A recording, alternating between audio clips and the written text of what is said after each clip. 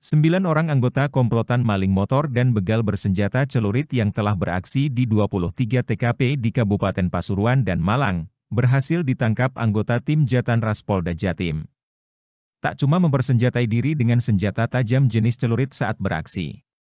Komplotan tersebut juga kerap mengudap sabu-sabu, agar nyali mereka makin berani. Mereka berinisial tersangka M, tersangka F, tersangka Y, tersangka V, tersangka A, tersangka YA, tersangka I, tersangka MA, dan tersangka YJ.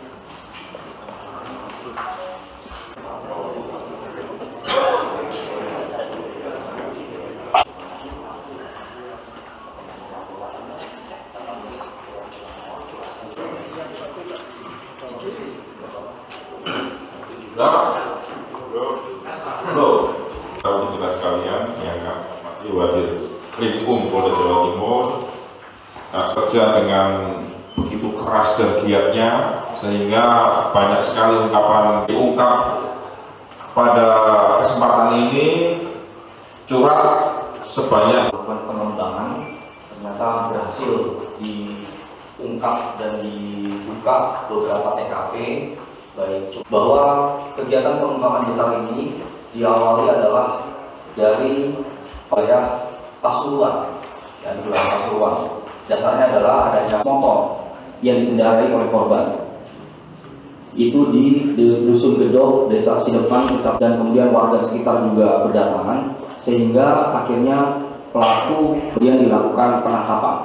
Ya yang ditangkap adalah pelaku berinisial M. Dari penangkapan tersangka M tersebutlah kemudian didalami, diinterogasi, kemudian dikembangkan ternyata M juga ngeling ataupun nyambung dengan aktivitas kejahatan baik curas, curat maupun curanmor dan kelompok lainnya yang pernah dilakukannya selama kurun waktu tahun 2020, 2021 adapun yang 99 juga sehingga total dari hasil pengembangan kita ada 18 TKP curanmor juga termasuk curat dan 5 TKP curas. Nah, dari tersangka M tersebut maka kita berhasil menangkap semua pelaku berjumlah 9 orang baik pelaku langsung maupun yang penadahnya dan itu berhubungan dengan 23 TKP yang saya sebutkan tadi. Y DPO Polresta Malang pelaku curanmor dan penadahan, kemudian tersangka I pelaku juga pelaku curang.